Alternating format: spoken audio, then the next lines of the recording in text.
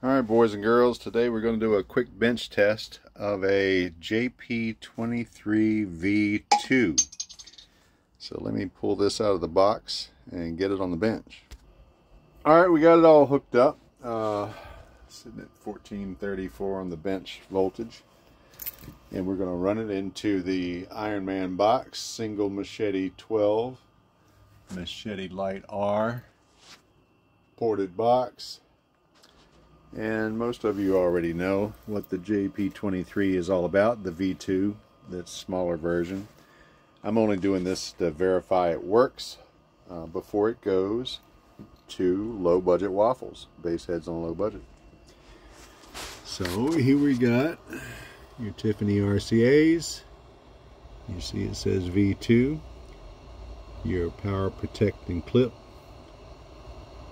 Gain subsonic bass boost, remote plug, low pass, and your master slave.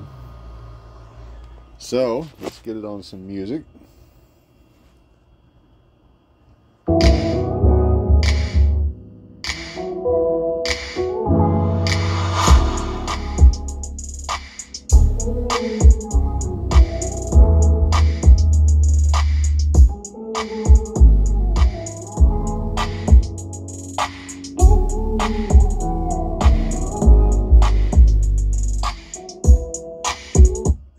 Let's get it on a 25 hertz tone.